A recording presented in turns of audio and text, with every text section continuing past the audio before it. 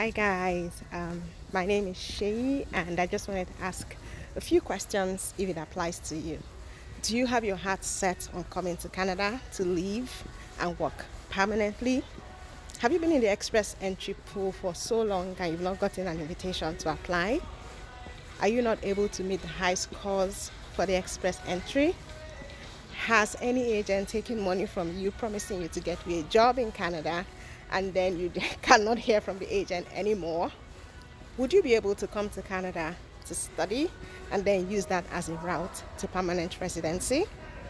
If you answered yes to any of these questions, then I'm really, really happy for you. You know why?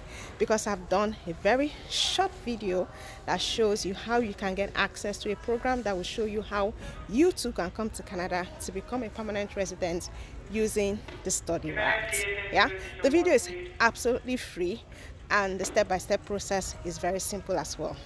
Just click the link below and you will get access to watch the video. Take care of yourself now.